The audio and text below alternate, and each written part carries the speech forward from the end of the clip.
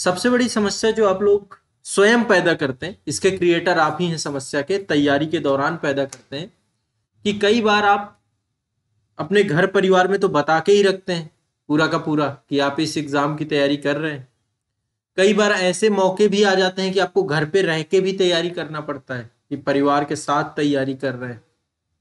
आता है मौका? परिवार जाना भी पड़ता है, उनके बीच में भी बैठना पड़ता है। अब आपका तैयारी यहाँ पे आप कर रहे हैं सिविल सर्विसेज़ की तैयारी, है ना? बैठ के इसके साथ रहे, अपने परिवार के साथ। ट्रीट उनके साथ कैसा कर रहे हैं? आपको आपको लग रहा होगा आपका ज्ञान का स्तर बढ़ रहा है?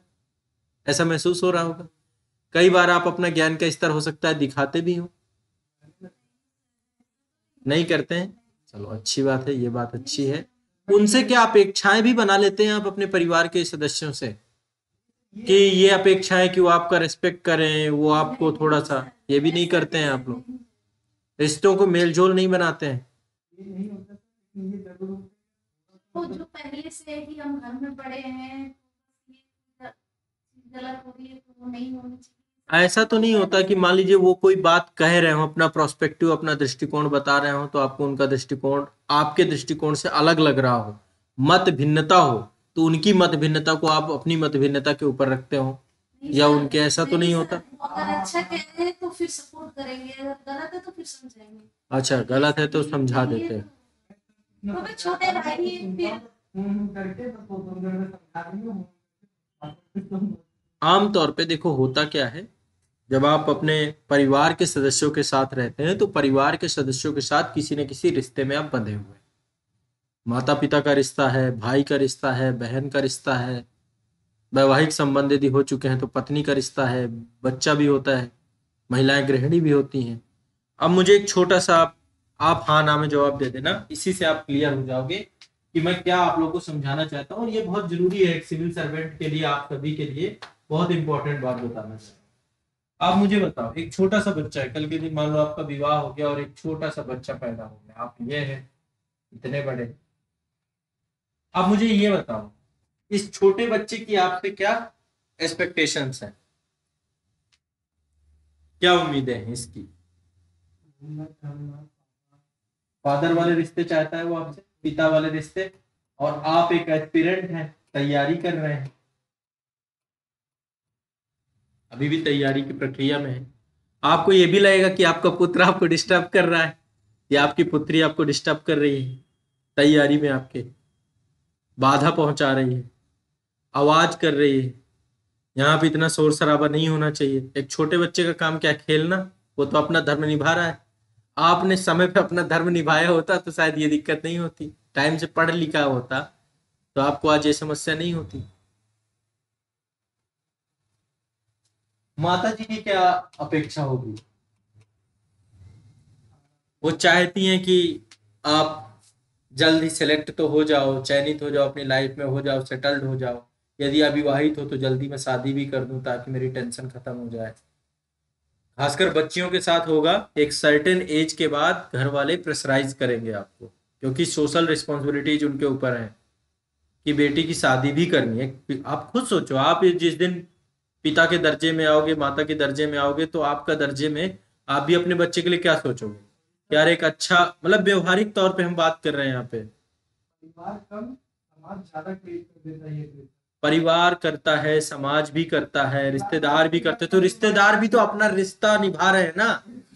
मैं उनको भी तो यहाँ पे लाके खड़ा कर रहा हूँ कि वो कौन सा आपसे कोई बैर भाव कर रहे हैं। मौसी का जो रिश्ता है वो मौसी उसी रिश्ते को निभा रही है ना। आप एस्पिरेंट वाले रिश्ते से क्यों उसको आपको जोड़ के देख रहे हो? आप एस्पिरेंट वाले रिश्ते को हटा क्यों नहीं देते हो? कि आप आई एस एस्पिरेंट हो, आप पीसीएस एस्पिरेंट हो, या आप कोई भी एग्ज़ाम की तैयारी कर रहे हो। जब आप रिश्तेदारों से मिलो तो ये स्वीकारो कि रिश्तेदार अपना धर्म निभा रहे रिश्तेदार बुरे क्यों लग रहे हैं आपको? आप रिश्तों की झोलमोल मत कर देना। अपनी तैयारी के दौरान टाइम टेकिंग प्रोसेस पे आप इंटर हुए हो, ध्यान रखना। एक अधिकारी के क्या लक्षण होते हैं विपरीत परिस्थितियों में? और अच्छी परिस्थितियों में, इन दोनों के गुणों को समझना, परिस्थितियाँ विपरीत भी होंगी आपकी तैयारी के दौरान। सिलेक्शन नहीं हो रहा होगा आपका, एक दो आप प्रीलिम्स नहीं क्वालिफाई हो रहा होगा मेन से बाहर हो रहे होगे, एक दो इंटरव्यू से बाहर हो रहे होगे तो एक अधिकारी का लक्षण क्या है? मान लो कहीं प्रशासन में हो, है ना, आप गए, जल भराव हो गया तो वहाँ पे माथा पकड़ के बैठ जाओगे? यार मेरे से नहीं हो पाएगा, ये लोग सुन भी नहीं रहे कोई मेरे नीचे वाले। माथा पकड़ के बैठ जाओगे कहने का मतलब है, आपको हर एक सिचुएशन में पेशेंस रखना पड़ेगा। ठीक है? एक लीडर की क्वालिटी यही होती है। क्यों इतने कम बच्चे सेलेक्ट होते हैं? क्यों कम लोगों का सिलेक्शन होता है? क्योंकि लीडरशिप की क्वालिटीज कम लोगों में होती है। महाराणा प्रताप जी को समझते, जानते हैं ना? देश के गौरव और उन्होंने विपरीत परिस्थितियों में भी अपने आप को राजा ही समझा। चाहे वो घास की राजा के ही गुण थे उनमें। स्वाभिमानी व्यक्ति ऐसा होता है। तो यदि राजा बनना चाहते हो, एक लीडर बनना चाहते हो, एक मास को करना चाहते हो कि बड़ी आपकी बातों को लोग सुने, आपको माने, आपके पास इतनी अथॉरिटी आए तो आपको ये सब चीज़ें मैनेज करनी आनी चाहिए, इनसे आप प्रभावित ना हो। कई बार आप इनसे प्रभावित होने लग जाओगे। आपको लगेगा कि अरे, घर पे तो इन्वायरमेंट ही नहीं है, यहाँ तो पढ़ने का। जब इन्वायरमेंट नहीं होता तो इन्वायरमेंट एक्चुअली घर पे इन्वायरमेंट नहीं है, ऐसी बात नहीं है। इन्वायरमेंट यहाँ नहीं है। इसमें इतनी सड़न हो गई, इतना कचरा भर गया। अभी इस क्लास में बैठे हो, चारों तरफ़ गंदगी ही गंदगी हो। चारों तरफ़ बिल्कुल तो कैसे बैठोगे? मान लो मैंने कहा मजबूरन बैठना भी है तो या तो ये दबाए बैठोगे, मास्क लगा के आओगे, है ना?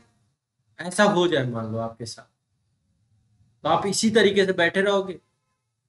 मन भी नहीं लगेगा पढ़ाई में। तरह तरह की खुशबुएँ आएँगे आपको। खुशबुएँ, बदबू। तो करना क्या पड़ेगा फिर?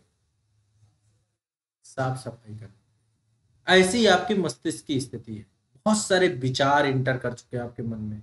एक थॉट निकलता है, फिर दूसरा आता है, फिर तीसरा आता है, उससे दस ब्रांचेज और बन रही हैं। ये नहीं होगा, वो नहीं होगा, और फिर निगेटिविटी और निगेटिविटी का कचरा आपके दिमाग में बैठ चुका है। इससे निकलना होता है। कई बार घर के सदस्य अच्छे नहीं लगने लग जाएँगे। कई बार ये लगेंगे, मुझे हर बात पर टोकता क्यों है? मेरी स्वतंत्रता के अधिकार का हनन कर रहा है, क्योंकि फंडामेंटल राइट पढ़ चुके हो गए यूपीएससी के एस्पिरेंट हो आप। मैंने तो एक दो बार धमकी भी दे चुका हूँ। सब कुछ अब आपको क्योंकि आपका ब्रेन का इस तरह बढ़ चुका है। जब आप एस्पिरेंट नहीं थे तब आप हर तरीके की परिस्थिति से गुजर रहे थे। अब आपका स्तर थोड़ा हर चीज़ में देश दुनिया थोड़ा बहुत जानने लग गए हो। उछल रहा है ज्ञान अंदर ही अंदर। तो हर चीज़ से इरिटेट होना चालू हो जैसे कोई इधर उधर की बात है अज्ञानी आदमी। पता नहीं है लेकिन कुछ भी बोल रहा है। पहले नहीं फ़र्क पड़ता था। वो तब भी तो था आपके घर का सदस्य। क्योंकि तब आप भी वैसे ही उसी श्रेणी में थे। तब आपको फ़र्क आप हाँ में हाँ मिलाते रहते थे। अब आपको एक लॉजिक्स ढूँढने लग जाओगे, हर चीज़ के पीछे लॉजिक ढूँढने लग जाओगे। आप किसी को सही और गलत ठहराना चालू कर दोगे कि मेरा ज्ञान ज़्यादा बेहतर है, मुझे ज़्यादा पता है, इसको कुछ नहीं पता है। तो मैं आप लोगों को एक सलाह बता कि अपने घर के रिश्तों से अपनी तैयारी को मत जोड़ देना। अपने रिश्तेदारों से और तैयारी को नहीं जोड़ देना, क्योंकि जब आप अपनी तैयारी को जोड़ोगे तो अपेक्षाएँ जुड़ जाएँगी। तैयारी लेके आती है अपेक्षाएँ। क्या लेके आती है? अपेक्षाएँ। आप उनसे अपेक्षा, अपने बच्चे से अपेक्षा करने लग जाओगे कि ये शांत रहे, मेरी पढ़ने में मदद करे। अपनी पत्नी से अपेक्षा करने लग जाओगे कि मुझे बस टाइम से खाना बना के दे दे, मुझे सब्ज़ी लाने के लिए भी ना बोले। घर में कोई दरवाज़ा भी बैठा रहा है तो मुझे ना कहे कि ये करे, एक गिलास पानी भी मुझे लेके यही दे। आप अपने माता पिता से भी यही अपेक्षा करने लग जाओगे हर चीज़ में कि मुझे देखो काम बता देती हैं कि छत में ये रखा, कपड़े सूख गए होंगे, उठा ला। सब कुछ हो रहा होगा आपके चारों तरफ़, यदि घर पे रह रहे हो। तभी विद्यार्थी जीवन में एक लक्षण जोड़ा गया था, गृह त्यागी। यदि आपको अध्ययन करना है तो आपको रिश्तों से ऊपर उठना पड़ता है। घर पे आपको कैसा बिहेवियर आपका होगा, वो आपको समझना पड़ेगा कि घर वाले आपको किस तरीके से डील करेंगे। घर में यदि आप काला सीधी करके आई अधिकारी बन के चलने लग गए तो कोई नहीं आपको सुनेगा। जब आप कल के दिन बन भी जाओगे अधिकारी, मान लो मैं कहता हूँ, भगवान कृपा से आपका सिलेक्शन भी हो जाएगा तो भी घर में ऐसे ही रहना कि माता जी को माता ही समझना, प्रजा ना समझने लगना कि अरे मेरे ज़िले का एक ये नागरिक है, मेरे ज़िले में निवास कर रहे हैं। समझ रहे वहाँ पे भी आपके माता माता है पिता पिता है भाई भाई है पत्नी पत्नी है। आपका व्यक्तिगत जीवन है और व्यक्तिगत जीवन को हैंडल करना आपको आना चाहिए। नहीं तो पत्नी यदि अशांत हो गई, फिर माता यदि अशांत हो गई, पिता यदि अशांत हो गए समझिए फिर आपका सब कुछ अस्त व्यस्त हो जाएगा। तो पहले घर में जब आप तैयारी कर रहे होंगे तो अपने आप को परिवार के अहम हिस्से बन के रहें कि मैं बेटा ही हूँ इनके लिए एस्पिरेंट नहीं। दूसरा तैयारी के दौरान अपने आप को बचा के रखेंगे घरेलू बातों से। कोई भी घरेलू बात हो रही होगी अब आप मुझे बताओ घर में सब मौन रहेंगे? एक दूसरे को ऐसे चेहरा देखते रहेंगे? घर में टॉपिक उठाए जाते हैं बात करने के लिए। कभी माता जी को टॉपिक उठाया जाएगा। कि आज तो इनकी तबीयत बहुत खराब है। कभी पिताजी को उठा लिया जाएगा टॉपिक कभी आपस में ही टॉपिक हो जाएँगे। घर में दो बहू हैं, उन्हीं को टॉपिक बनाया जाएगा। टॉपिक ढूँढने पड़ते हैं ना कि वहाँ कौन करंट अफेयर्स की क्लास चल रही होती है घर पे। बताओ। जब घर में सारे टॉपिक खत्म हो जाते हैं तो फिर करंट टीवी में जो चल रहा होता है, उसे टॉपिक उठाया जाता है। सीरियल में जो चल रहा होता है, वो टॉपिक उठाए जाते हैं। तो घर में कोई ना कोई टॉपिक चल रहा होगा। घर का एक टॉपिक आप खुद भी हो जाओगे कभी ना कभी। फिर आपको बुरा लगने लगेगा, देखो मुझे ये बोल रहा था, मुझे ये बोल रहा था, मेरे टोंट कस रहे थे। मुझे कह रहे थे कि पड़ोसी बच्चे का सिलेक्शन हो गया, ये अभी निकम्मा यही बैठा है। आप फिर अपने आप को टॉपिक नहीं मान, घर पे रहोगे तो टॉपिक उठेंगे। घरेलू टॉपिक भी होंगे और बाहरी टॉपिक भी होंगे। संभव ही नहीं है कि घर में रह के टॉपिक ना उठे। पहली बात ये स्वीकारना है। ठीक है? आपके घर में ये तो नहीं चलता कि वो अमेरिका का क्रिस्टोफर ऐसा है, वैसा, ऐसे तो नहीं चलता ना? पड़ोसी का, पड़ोस का ही तो कोई ना कोई व्यक्ति होगा। जो पड़ोस का पप्पू है, वो देखो ऐसे कर रहा है, कल्लू है, ऐसे कर रहा है, ऐसी बातें चलती रहती होंगी। घर में जो आस पड़ोस में लोग होंगे आपके। आपको इन सबसे ऊपर उठ के रहना है। रिश्तेदारों में कोई बात चल रही है तो भी आपको ऊपर उठ के रहना है। मेरी बात समझ रहे हो? आपको पहले तो एस्पिरेंट बन के नहीं रहना, ताकि आप इन प्रॉब्लम से खत्म हो सको। आप घर का परिवार का एक अहम हिस्सा, और दूसरा, घरेलू बातें हो रही होंगी, वहाँ से अपने आप को अलग कर लेना। हाँ हाँ हाँ हाँ सबसे बड़ी चीज़ है, हर चीज़ में। सुना हो ना सुना हो ठीक है, ठीक ठीक है, और हाँ हर चीज़ में आर्गुमेंट करने मत बैठ जाना, क्योंकि कई जगहों में आप खुद सम्मिलित हो जा रहे होने लगते हो। फिर आप क्या उलझन हाँ ठीक है ठीक है, बहुत ठीक है, ये करना है हाँ हाँ ठीक न्यूट्रल टेंशन ही नहीं लेनी किसी चीज़ की। ऐसा हो रहा हाँ हाँ ठीक उनका ये हो गया, बहुत बढ़िया बहुत बढ़िया। प्रशंसा करनी हर जगह। इससे क्या होगा, आप बच जाओगे। नहीं, आप क्रिटिसाइज करने चल जाओगे, अरे, वो देखो पड़ो ऐसे हुआ ऐसे नहीं हुआ, ऐसे हुआ वो तो पैसे देके हो गए, वो तो ये कर दिए, वो तो ये कर दिए। हाँ इसमें देखो, ये कमी है, सुबह टाइम से उठती नहीं है झाड़ू नहीं, यहाँ पे तो गंदा है, चप्पल पहन के अंदर घुसा है। इन सब चीज़ों से नहीं आपको पढ़ना है। जहाँ पे यदि कोई आपकी कमी बताए, गलती मान लो, गलती होगी मुझसे। ठीक है, कोशिश करूँगा। अभी तक खाना नहीं खाया था आपने? कोई कहे, अभी खाने का अभी बस तुरंत अभी खाता हूँ। खा लो। दो बातें कोई सुनाए तो सुन लेना। है वहाँ पे आर्गुमेंट करने लग गए क्या नहीं, मेरा तो ये नहीं, मेरा, वहाँ एक्सप्लेन करने मत बैठ जाओ। ज़्यादातर लोग इन्हीं सब चीज़ों में फंस के यूपीएससी के 90 परसेंट एस्पिरेंट अपना पूरा करियर खराब कर लेते बहुत माइंड अपसेट हो जाता मन नहीं लगता फिर पढ़ाई में। फिर एक एक मतलब ये लगता है मेरा इन्वायरमेंट खराब हो रहा है, मेरी चीज़ें खराब हो रही क्योंकि उनको रिलेशन मैनेजमेंट आता ही नहीं है। रिलेशनशिप को कैसे मैनेज करना होता है? जब आप घर में बड़े हो, एक लीडर जो होता है, उसमें सुनने की क्षमता होनी चाहिए। उसमें समझने की क्षमता होनी चाहिए, उसमें रिप्लाई करने की क्षमता नहीं होनी चाहिए। प्रॉब्लम्स को सुनने के बाद सोल्यूशन की तरफ़ उसे भागना चाहिए। घर की प्रॉब्लम्स भी प्रॉब्लम्स हैं। उनको ये मत कहो कि मैं जब आईएएस बन जाऊँगा, तब सुलझाऊँगा। घर में यदि कोई बीमार पड़ा है तो आईएएस बनते बनते वो, यदि उसको टाइम से आप दवा ना दी गई, तब तक वो इस धरती से इसलिए आपको पहले ये रिलेशनशिप भी बनाना चालू कि घर में है तो टीवी लगी है तो टीवी भी चलेगी। कुछ लोग देखेंगे। इतना भी नहीं कि टीवी ना चाहिए इतने भी आइडियलिस्टिक कोई नहीं। तो आप अपने हिसाब से इन्वायरमेंट मत क्रिएट करो। जो इन्वायरमेंट है उसे स्वीकारो और स्वीकार करके उसी इन्वायरमेंट को। समझ गए मेरी बात को? ये ज़रूरी बात ये बातें आपको लग रहा होगा सिलेबस का हिस्सा तो नहीं है, पर सिलेबस को पूरा खत्म कर देती हैं ये। फिर सिलेबस नहीं खत्म होता, ये बातें ही आपके दिमाग में सड़ती रहती हैं, सड़ती रहती हैं, सड़न चलती रहती है। गंदगी पड़ती रहती है डेली डेली डेली। तो नीचे की गंदगी इतनी ज़्यादा सड़ चुकती है कि फिर उसे उठाने का मन नहीं करता है। आप खुद सोचो, एक जगह पे कूड़े का ढेर पड़ा हो डेली वहीं पे डाल जाते हो डेली। तो जब नीचे का कभी निकलेगा तो उसकी बदबू समझ आए कैसी होगी। इसलिए डेली की सफ़ाई करते जाओ, और इसका एक तरीका है। जब कभी पाओ अपने आप को कि मन में बहुत उलझने हैं, बहुत प्रश्न चल रहे हैं, मुझे ये करना है, ये नहीं हो रहा, वो नहीं हो रहा, इसका समाधान है। कैसे समाधान है?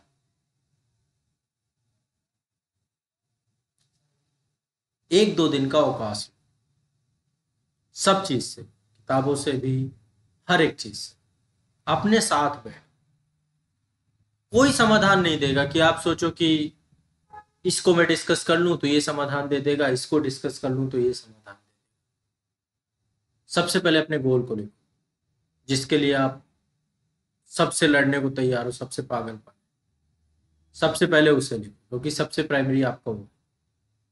इसके बाद अपनी प्रॉब्लम्स लिखो, जो थॉट दिमाग में है कि मुझे इससे प्रॉब्लम मुझे इससे प्रॉब्लम मुझे इससे प्रॉब्लम मुझे इससे प्रॉब्लम इससे प्रॉब्लम सबको लिखो, एक लिस्ट बनाओ। और उन प्रॉब्लम्स का समाधान क्या हो सकता है? उसकी तरफ़ और समाधान ऐसा होना चाहिए जो आपके एग्ज़ाम की तैयारी तक आपको ले जाने का प्रयास करे। मतलब वो तैयारी के लिए हेल्प होना चाहिए आपका उसका। वो आपको तैयारी में, अब देखो, ज़्यादातर बच्चों के साथ होता है, मान लो कहीं वो मजबूरन घर में पैसा नहीं है, आपको घर ही में रह के पढ़ना पड़ रहा है। ग्रेजुएट हो चुके हैं आप और घर पे ही रह के पढ़ना पड़ रहा है। अब आपके दिमाग में क्या चल रहा है यार? घर पे तो माहौल ही नहीं है। अब मैं बाहर कहीं पढ़ लेता बताओ मुझे, एक चीज़ घर से बाहर जाओगे तो पहले तो आर्थिक तंगी पहले ही चल रही थी। बाहर पैसा चाहिए होगा। ठीक है? घर पे रह रहे थे तो खाना आप खुद बना रहे थे कि कुछ बना बनाया भी मिल जाता था? वर्क, घर पे वर्कर तो लगे हुए हैं ना चार छह। कोई कपड़ा भी धुल देगा, कोई कुछ भी कर देगा हाँ? चीज़ें अवेलेबल है लेकिन दिक्कत क्या है ना? एक समस्या बहुत बड़ी चलो, एक बहुत बड़ा चीज़ और क्लियर कर देता हूँ आपकी। शायद इससे आपको बहुत अच्छे से और क्लियर हो जाए। छात्र हो आप घर में क्या हो जाता है? जब बाहर रहते हो, घर से बाहर तो घर से बाहर रहने पर आपकी ज़िंदगी में आ जाते हैं थोड़े अभाव। और जब घर के, घर में रहते हो तो आपको मिल जाती है उपलब्धता। कई सारी उपलब्धताएँ आपकी उपलब्ध हो जाती है। होती कि नहीं होती? दो कैटेगरी हो जाती है। अब अभाव में दो चीज़ें हो सकती हैं। अभाव की भी दो कैटेगरी बनती है। पहली कैटेगरी क्या है अभाव में? बहुत सारे लोग ऐसे हैं कि जो अभाव को अपना पावर बना देते हैं। पावर बनाने मतलब उनको एक चीज़ पता है कि यार अब ये चीज़ नहीं है, लेकिन पाना है मुझे कुछ बड़ा ही। क्योंकि जो चीज़ नहीं है, यदि उसको ही कोसता रहूँगा तो शायद कुछ नहीं कर पाऊँगा। तो ये क्या होता है? बहुत फोकस्ड हो जाता है। इसका फोकस क्लियर हो जाता है। इसका गोल क्लियर हो जाता है। दूसरी कैटेगरी में हीन भावना से ग्रसित हो जाता है एक व्यक्ति। हीन भावना जैसे कि मैं कर ही क्या सकता हूँ? मेरे से हो ही क्या सकता है? मैं तो पॉसिबल ही नहीं कि कुछ कर पाऊँ। ये मैं घर के बाहर और वाली बात पे भी बाद में आएँगे। ये छात्र की स्थिति समझ सकते हो। अर्थ के आधार पे मैंने बांट दिया आपका। कुछ की आर्थिक स्थिति ऐसी है जिनके पास कुछ भी नहीं है। कुछ की आर्थिक स्थिति ऐसी है जिनके पास है चीज़ें, है ना? कुछ की ऐसी स्थिति है कि एक टाइम का भोजन नहीं है, कुछ नहीं है तो वो फोकस्ड हो जाता है, उसको लगता है बदलना है। और वो कुछ माध्यम बना देता है। माध्यम का बना दिया, मान शिक्षा इतने माध्यम बना दिया कई बार बहुत सारे लोगों के अभाव होता है, पढ़े लिखे नहीं होते, लेकिन बड़ा बिज़नेस ही बना डालते हैं वो। शुरू से काम करना चालू करेंगे और बढ़िया सा एक व्यापार बना देंगे। उससे अभाव को दूर कर लेते हैं। कुछ क्या करते हैं? शिक्षा को हथियार बना लेते हैं कुछ क्राइम की तरफ़ भी चले जाते हैं। हर तरीके की कैटेगरी है। क्राइम की तरफ़ ये वाली कैटेगरी जाती है जो हीन भावना से ग्रसित होती है। ये नशे में चली जाती है ये कैटेगरी।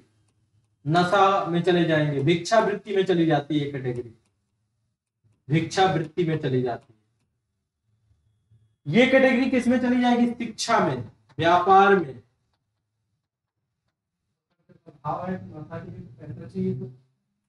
अभाव है तो पैसा पैसा नहीं है ना सोल्यूशन यही तो चीज़ तो मैं समझाना चाह रहा हूँ। सारा खेल विल पावर का है। करने की आपके अंदर इच्छा होनी चाहिए बस। सब कुछ अवेलेबल है, सब कुछ उपलब्ध हो सकता है हर एक परिस्थिति में। आप करना चाहो बस। आप नहीं है, डॉक्टर भीमराव अंबेडकर ही उन्होंने क्या किया आपको पता है?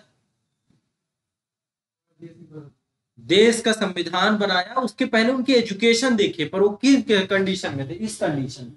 अभाव युक्त थे, लेकिन फोकस्ड थे। उन्हें पूरे समाज का दृष्टिकोण ही बदल दिया। उन्होंने एक समाज को जस्टिस दे दिया। पता है, साधारण जगह से उन्होंने पीएचडी नहीं किए हैं। इकोनॉमी में भी पीएचडी कर रखी उन्होंने। आपको पता हो, अर्थव्यवस्था के कितने बड़े अर्थशास्त्री थे वो। कानून का ज्ञान तो था ही उनको। एक असाधारण व्यक्ति मुश्किल से मिलेगा आज के टाइम पे जो इतना ज़्यादा योग्य हो। और ऐसे बहुत सारे लोग, ऐसी एक लोग की संख्या नहीं है। ऐसी बहुत बड़ी संख्या भी है जो अभावों में रहे और उन्होंने बहुत कुछ बना दिया, बदल दिया, तरीके बनाए। ठीक है? एपीजे अब्दुल कलाम है, बहुत बड़ी भीड़ है। आप उसको काउंट करने लग जाएँगे तो हाई लिस्ट बहुत बड़ी। लेकिन जो हीन भावना में ग्रसित हो जाता है, ये फिर इसको लगता है कि मैं, मेरे से कुछ नहीं हो सकता। ये अपनी लाइफ में कुछ नहीं कर पाएगा। आम व्यक्ति, आम आदमी बन के रह जाएगा। ये अपने आदमी में बहुत बड़ी सफलता अपनी ज़िंदगी में अर्जित करेगा। ठीक है? ये अभाव वालों की दो कैटेगरी है। दूसरी तरफ़ जिनके पास उपलब्धताएँ हैं, इनके पास भी दिक्कत है। एक ये मध्यम वर्ग से है, मध्यम वर्ग से भी हो सकते हैं, उच्च वर्ग से भी मिडिल क्लास फैमिली जो है, उच्च वर्ग से भी हो सकते हैं। इनकी उपलब्धता ही इनकी समस्या इनको चीज़ें उपलब्ध है, यही इनकी समस्या है। इसी में आगे फंस गए हैं ये। चीज़ें अवेलेबल है, यही इनको नहीं पच रहा है। ये उसी में चूर हो गए, उसी को भोगने लग जाते हैं। उसी में इनको ये हो गया कि हाँ ठीक है, अब तो है चीज़ें। इनका मन नहीं लगेगा, इनको शॉपिंग करनी है, इनको मूवी देखना है, इनको सोना है, इनको जो है मोबाइल पे टाइम खराब करना है, ये इन सबसे दोस्त बनाने इनको इनको प्रभावशाली व्यक्ति बनना है। आकांक्षाएँ बहुत है इनकी। आकांक्षाएँ बहुत है। ये महत्वाकांक्षी वर्ग है। महत्वाकांक्षी है। लेकिन और इनके साथ एक चीज़ है। ये डिसिप्लिन में रहेंगे, अनुशासित रहते हैं ये लोग। डेली क्लास जाएँगे, पढ़ेंगे, सब कुछ करेंगे, पर रेगुलर मेहनत नहीं करते रेगुलर फोकस नहीं रहते। कंप्लीट फोकस्ड पर चले। बीच बीच में इनका फोकस ब्रेक होता रहता है। ठीक है? बाकी सब कुछ अच्छा है इनका। डिसिप्लिन पर्सन है। हमेशा स्कूल जाते थे, हमेशा पढ़ते थे, सब कुछ करते थे बट कंप्लीट रेगुलर है। बीच बीच में इनकी उपलब्धता, इनके लिए संकट बन जाती है।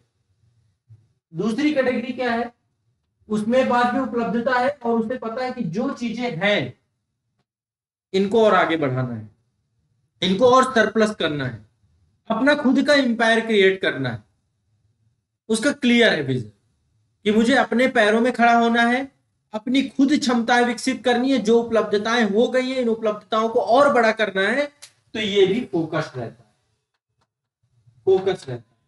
और ये भी अपने जीवन में सफल फंसते ये दोनों, इनका तो कुछ ही नहीं हो सकता है। उपाय एक ही है कि ये जो अपनी उपलब्धता, इसकी इतनी सारी मिल गई है, इन उपलब्धताओं को छोड़ करके, इनके भोग को छोड़ करके वो फोकस्ड में कन्वर्ट हो जाए। और इनके साथ, अब इनके लिए चाहिए कौन? या तो कोई गुरु चाहिए। एक रोल इनके माता पिता का भी होता है इनके। माता पिता का भी रोल है। इनके माता पिता इनका सपोर्ट करके इनको फोकस्ड की तरफ़ मोड़ मोड़ दे। नहीं तो ये रह जाएँगे। तो इनको या तो मेंटर है, या तो इनके गार्जियन है। इन दो का सबसे बड़ा सपोर्ट होगा तो ये सफल हो पाएँगे। नहीं तो ये असफल रह जाएँगे। और बहुत बड़े केस में माता पिता का रोल कम ही रहता है। ठीक है? सही मार्गदर्शन नहीं मिल पाता और ये अपनी लाइफ में असफल हो जाते हैं। जो इनको चाहिए होता वो नहीं मिलता। इनके साथ क्या इनके माता पिता अशिक्षित हैं।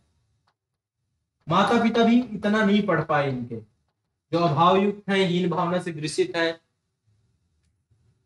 तो अशिक्षित होने के कारण से वो इनको इन्हीं कामों में ढकेले रहते हैं कि जब कुछ लेकर आज इतना पैसा लेके आना है। पूरा बीन के लाना है, इतना ये कर देना है। स्कूल नहीं जाना है। स्कूल जैसे ही जाएँगे, उनके रास्ता बाधक बन जाएँगे। फ़ीस नहीं भरेंगे कभी ये। क्योंकि इनको महत्व, पता ही नहीं कैसे चीज़ें चेंज करनी। उनको ये पता है कि आज सौ रुपए का खर्चा है, सौ रुपए आ गए काम हो गया। तो ये बड़े बदलाव नहीं कर पाएँगे। इसमें बड़ा बदलाव कौन करेगा? एक ये कैटेगरी बड़ा बदलाव करेगी और ये कैटेगरी बड़ा बदलाव करेगी। ये कैटेगरी सामान्य बन के रह जाएगी और ये कैटेगरी कुछ नहीं बन के रह जाएगी। ये चार परिस्थितियाँ हैं। तो जब घर से बाहर आप जाते हो तो आप इस कैटेगरी में आ जाते हो। अभाव वाली चीज़ें सब अवेलेबल नहीं रहती हैं। घर में हर चीज़ अवेलेबल रहती है, हर चीज़ आपके साथ है। सब आपके साथ खड़े हुए हैं। खाना भी मिल रहा है, सोना भी मिल रहा है, सब कुछ मिल रहा है। तो कई बार घर का आप मिसयूज भी करने लग जाते हो, जबकि घर में आप इस कैटेगरी में इंटर कर सकते हो। घर में उपलब्धताएँ हैं, थोड़ा फोकस्ड हो जाना है। आपके लिए चार लोग और लग गए, पर आप उन्हीं को बाधक समझने लग जाते हो। उन्हीं को अपना कंपटीटर बना बैठते हो। उन्हीं की बातों से इरिटेट होने लग जाते हो।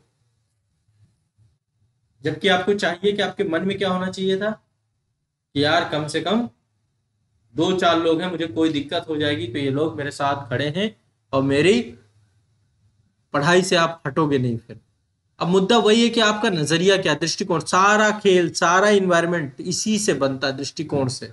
आप चीज़ों को देख कैसे रहे उसी को अभाव में देखोगे तो भी हमेशा कमी ही दिखेगी। घर के लोगों को आप रिश्ते थोड़ा ना बदल सकते हो। तो रिलेशन मैनेजमेंट आपके पास आना चाहिए। कैसे आप रिश्तों को मैनेज करते हो अपने? फिर आपको रिश्ते बुरे नहीं लगेंगे। जब आप रिश्तों को एक बार समझ जाते हो तो रिश्ते आपको सही लगेंगे। जो रिश्ता है, जिसकी जो वो है, वो उसी प्रवृत्ति के हिसाब से काम करे और आपकी उम्मीदें अलग होती हैं, रिश्तों की बनावट अलग होती है। ये समस्या है। बताओ। यही हो रहा है ज़िंदगी में।